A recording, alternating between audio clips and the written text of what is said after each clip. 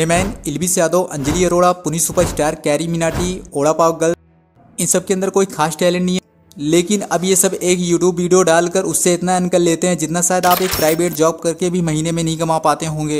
यही एक तरफ़ है गवर्नमेंट और प्राइवेट जॉब की तैयारी करने वाले स्टूडेंट जो अपने घर से दूर रहकर कोचिंग और कॉलेजों में लाखों रुपए देकर लंबे समय तक तैयारी करते हैं। और जब नौकरी लेने का टाइम आता है तो कहीं इंटरव्यू में रिजेक्ट कर दिया जाता है तो कहीं पेपर लीक हो जाता है।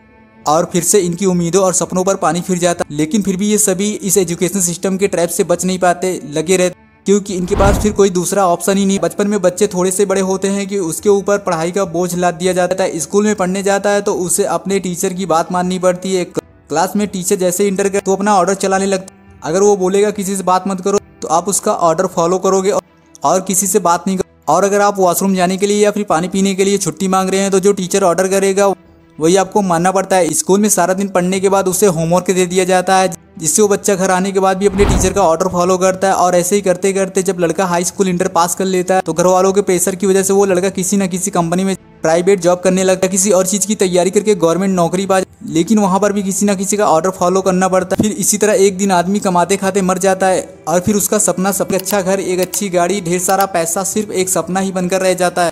तो किसने ये बनाया एजुकेशन सिस्टम? आइए शॉर्ट में जान। साल 1806 में नेपोलियन और प्रसिया के बीच में एक वार होता है। इस लड़ाई में प्रसिया सबसे ताकतवर आर्मी होती है, लेकिन फिर भी ये प्रसिया नेपोलियन आर्मी से हार जाती है। लीडर को ये समझ में नहीं आता है कि आखिर इतनी अच्छी आर्मी होने के बावजूद हम कैसे हार सकते बहुत सोचने के बाद ये समझ में आता है कि उनकी आर्मी मज़बूत तो थी, लेकिन युद्ध के दौरान अपने लीडर की बात नहीं मारे और वो सिर्फ़ अपना दिमाग इस्तेमाल कर रहे थे और नेपोलियन की आर्मी सिर्फ़ और सिर्फ़ अपने लीडर की बात मार रहे थे। तभी प्रसिया लीडर के सामने एक चैलेंज आ जाता है कि दोबारा से ऐसी गलती नहीं होनी वो अपना बहुत दिमाग लगाने के बाद उन्हें एक आइडिया आता है और फिर वो लोग एक सिस्टम बिल्ड करने में लग जाते हैं। एक ऐसा सिस्टम जहाँ सभी सोल्जर उनकी बातों को फॉलो करें, इन्हें सही और गलत क्या है उन्हें ना पता हो। जितना कहा जाए सिर्फ़ उतना ही करें।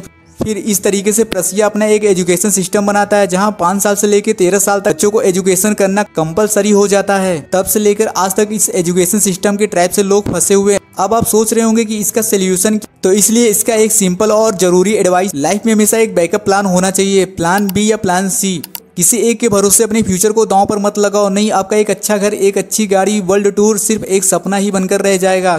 क्योंकि समय बदल चुका है और समय के साथ नहीं चले तो आप जहाँ हो वहीं रह जाओगे। इस वीडियो को बनाने में बहुत मेहनत लगी। अगर हो सके तो वीडियो को लाइक करके चैनल को सब्सक्राइब ज़रूर कर लेना और अपने दोस्तों के पास शेयर करना मत भूलना।